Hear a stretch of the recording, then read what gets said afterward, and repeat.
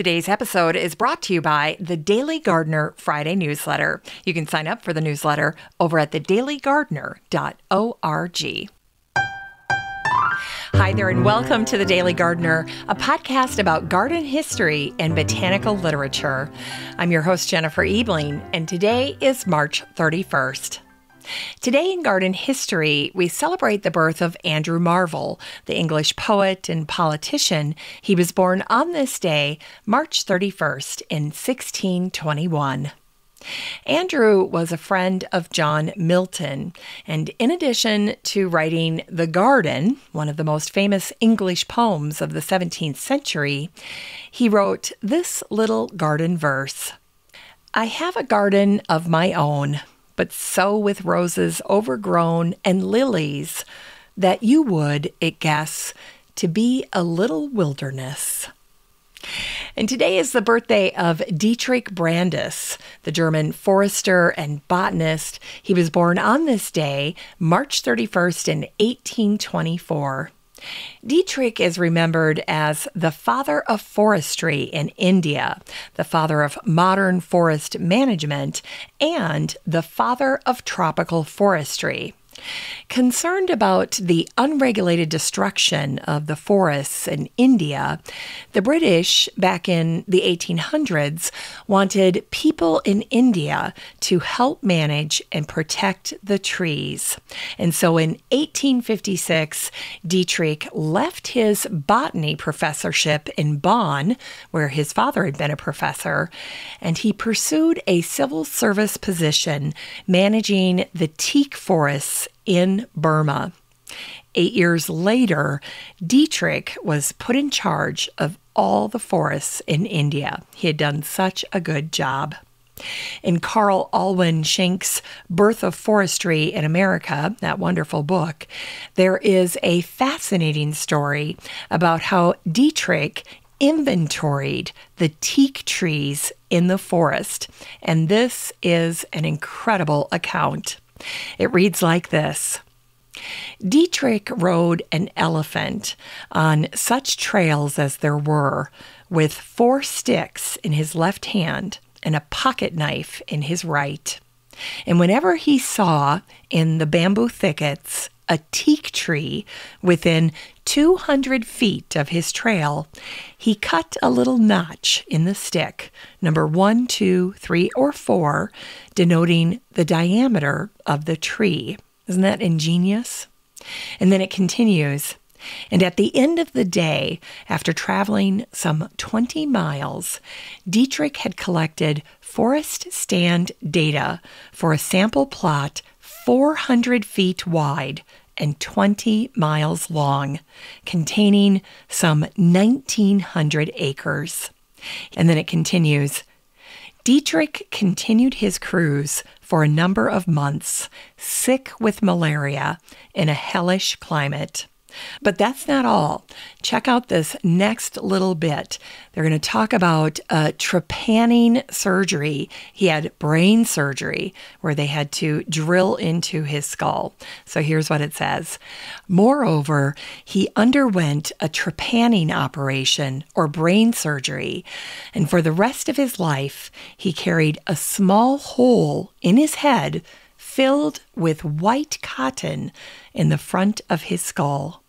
But he emerged from his cruise through the forest with the knowledge that he needed for his great enterprise. And so you can see how his title as the father of forestry in India is so well deserved. Dietrich established principles of modern sustainable agroforestry that are still followed today. And for two decades, he measured, itemized, and chronicled the forests of India. Dietrich also started forest management schools, and he himself created the training protocols for his own employees. In 1878, Dietrich founded the Forest Research Institute in the Doon Valley in Dehradun. This building is gorgeous. You can see pictures of it on Twitter. People stop by and visit it. It is so lovely. It's styled in Greco Roman architecture, and it is the largest purely brick structure in the world, and it was Dietrich's Forest Research Institute. Now, Sir Joseph Hooker recognized Dietrich's work and he named the flowering plant genus Brandisia in his honor. And today we wish a happy heavenly birthday to William Waldorf Astor, the American British attorney, politician, businessman of hotels and newspapers, and philanthropist. He was born on this day, March 31st, in 1848. Now, I had a blast researching William Waldorf Astor. Early newspaper accounts about him are so fascinating. In 1891, they reported that a tall, shy William Waldorf Astor moved to Britain after declaring that, quote, America is not a fit place for a gentleman to live. And so he moved to England. Well, after a decade of living there, William bought a rundown double moated castle named Hever Castle, and it happened to be Anne Boleyn's family home. She had lived there over 400 years earlier. Well, between 1904 and 1908, William oversaw the installation of extensive gardens on the property around Hever Castle, and these gardens were designed by Frank Pearson. Now, to make his vision a reality, William had to divert water from a nearby river in order to make a 35 acre lake. And it is said that 800 men hand dug and then stomped on the clay soil to make the bottom of the lake. Mature trees were then harvested from Ashdown Forest, and then they were transplanted at Hever. That was no small task in the early 1900s. And then William had two mazes installed. So if you love labyrinths, this would be a great place to go. There are topiary chessmen that were pruned for the chess garden. And then thousands of roses were brought in for the rose garden.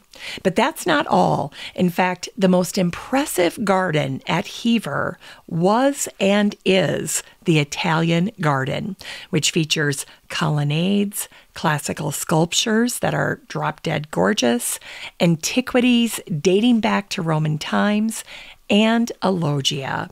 There's also a long pergola at one end that features cool, dripping fountains the entire length. That's what I want to see.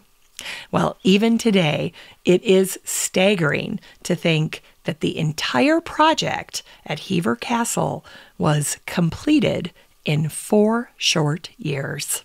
Incredible. All right, and today is also the birthday of the American author, motivational speaker, and professor in the Department of Special Education at the University of Southern California. And of course, I'm talking about Leo Buscaglia, who was born on this day, March 31st, in 1924. Leo believed that education should be the process of helping everyone to discover his or her uniqueness. Now, Leo was also a gardener, and he learned to garden from his father. He once wrote, To this day, I cannot see a bright daffodil, a proud gladiola, or a smooth eggplant without thinking of Papa. Like his plants and trees, I grew up as part of his garden. Leo was a self help guru who preached love so much that he became known as Dr. Love. And he once wrote, A single rose can be my garden, a single friend, my world. And he also wrote, There are many miracles in the world to be celebrated, and for me, garlic is the most deserving. It's time to grow that garden library with today's book, Passions by Carolyne Roehm. This book came out in 2021 at the end of the year in December, and this is actually a collection of three books. And these books feature Carolyne's passions. And so you have a book called Flowers and Gardens, and then a book called Feminine Touch, which is all about how Carolyne loves to decorate. And then finally, a book called Furry Friends, which of course shares Carolyne's love of animals, especially her pups which is so fun to see. And I have to say that I love the book sleeve that these books slip into because the artwork on the book sleeve is reminiscent of Maria Sibylla Merian. I just absolutely love this cover. But Carolyne, when she was talking about this set of books, she writes, I hope that this little trio of books about the joy that I found in flowers and gardening allure in feminine style, and the love of furry friends delights and inspires you as it has me. Now, when I think about this book set, I think about it like a gift, a little book set gift. So, if you're looking for something special for yourself or for a friend, this little set of books should be at the top of your list. Now, the photography in all of these little booklets is absolutely stunning. It's all Carolyne Roehm. If you're a Carolyne Roehm fan, if you love her home in Connecticut, if you've watched any of her styling videos on YouTube, then you will immediately recognize the deep, saturated hues and the incredible compositions that she puts together with flowers and exquisite objects in her home. And the balance of color and form and architecture, all the incredible details that she pulls together are just drop dead gorgeous. This book is 240 pages of Carolyne Roehm's passions, her favorite things, flowers and gardens, feminine allure in design, and furry friends.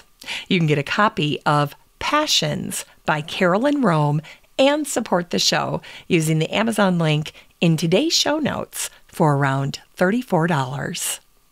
All right, we wrap up today's show with a botanic spark from this day in 1962. It was on this day, March 31st, back in 1962, that a landscape worker hit a line that connected President Kennedy's White House to the Strategic Arms Command. It was the line that was vital to launching a nuclear attack. Well, this all came about because of a project that was led by Bunny Mellon, who was in charge of the design for a new rose garden outside of the president's office. Robert Kennedy once famously reflected on Bunny in the garden, and he said these words. During cabinet meetings, we would see her out there in the rose garden, a little figure with a bandana on her head. It's just so delightful to think about Bunny out there working like that. But one of Bunny's first tasks at the White House was to find a gardener who could implement her designs. And she handpicked a man named Irvin Williams, who was a government gardener at the Kenilworth Aquatic Gardens. And after Bunny recruited him and then brought him to the White House, he ended up staying on as the head gardener there for almost 50 years. And I remember talking about his retirement here in the last four or five years or so. So he stayed there a long time, five decades, and cast such a tremendous shadow on the gardens and the landscaping around the White House. But in those early talks of the Rose Garden redesign that Bunny was marshaling, the park department had voiced concerns that some of the underground lines might be hit. So people were aware that this was a risk. But it was on this day, back in 1962, that the underground lines were cut during ground preparation work. And Bunny recalled that the problem was handled calmly and that she was never reprimanded. Bunny found the perfect magnolia trees for the White House over by the tidal basin. They were overlooking the Jefferson Memorial. And when she said she wanted those trees, once again, the Parks Department said no because of the cost involved. But here's where Irvin Williams came to the rescue. The gardener that Bunny had recruited, Irvin Williams, had her back and he made arrangements to have the trees brought to the White House. Now, the roses that were in the rose garden included a yellow rose from the state of Texas, and it was called the Speaker Sam Rose in honor of the late Speaker of the House, Sam Rayburn. And then there was also a bright red variety from the World's Fair, and then a white rose named Frau Karl Druschki and pink Dr. Roses. So you had the yellow, the red, the white and the pink, very colorful. Well, 24 days later, after the underground line was hit, so sometime in April, the garden was finally complete. It had magnolia trees and roses, and it was unveiled to the public, and people loved it. The updated rose garden was an instant success, and the artist and friend of the Kennedys, a man named William Walton, later wrote about it.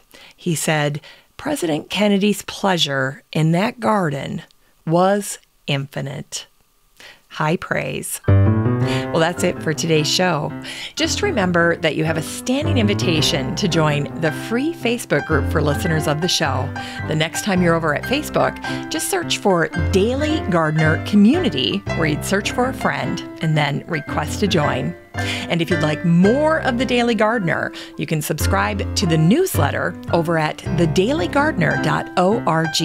And don't forget that you can also show your support for the show by using the Buy Me a Coffee link over at the website or in today's show notes. This is Jennifer Ebling. Thanks for listening to The Daily Gardener. And remember, for a happy, healthy life, garden every day.